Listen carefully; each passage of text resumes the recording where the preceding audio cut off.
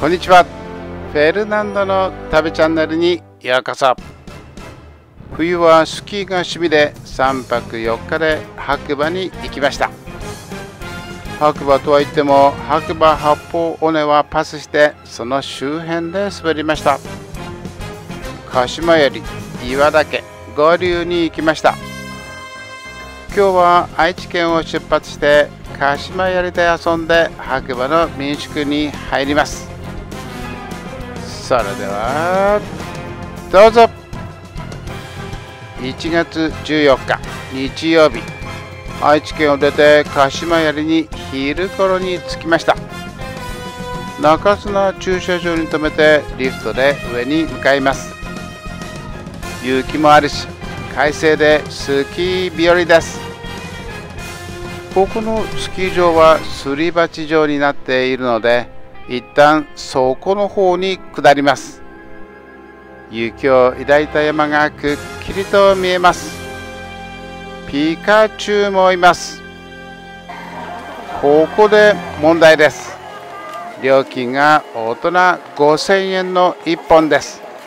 シニア割も午後券もありません。結果帰ることになります。すり鉢の底に来ているので一度リフトに乗らなくてはいけません。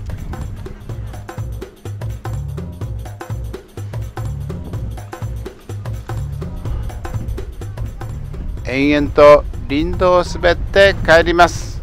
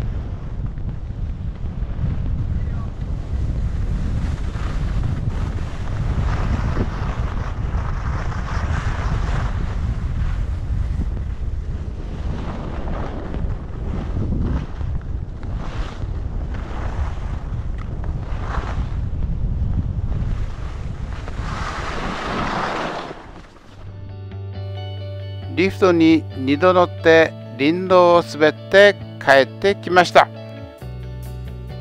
民宿の窓からですが山並みがきれいに見えます。民宿に温泉があるのでゆっくりします。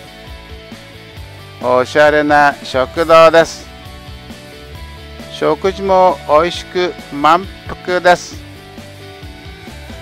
いかがでしたか？